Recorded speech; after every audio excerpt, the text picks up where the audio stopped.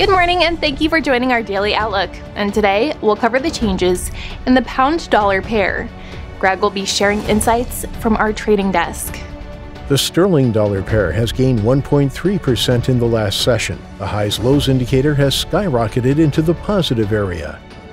The euro dollar pair has added 1% in the last session. The ultimate oscillator is currently positive.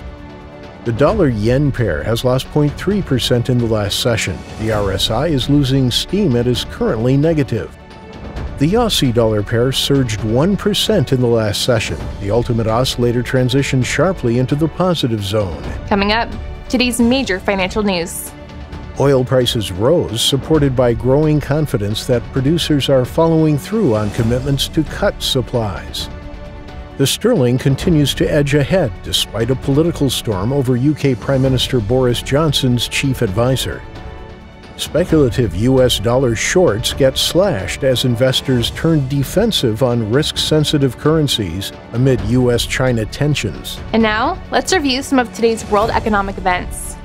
The US MBA mortgage applications will be released at 1000 GMT, the Swiss ZEW expectations at 700 GMT, the Canadian building permits at 1130 GMT. The U.S. Red Book at 1155 GMT, the U.S. Richmond Services Index at 1300 GMT, and the U.S. five year note auction at 1600 GMT. We hope that you've enjoyed today's market outlook.